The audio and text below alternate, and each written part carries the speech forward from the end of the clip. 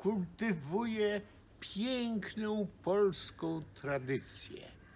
Tu, w tej piwnicy, przechowuje rodziny dzików, którą rząd chce zamordować.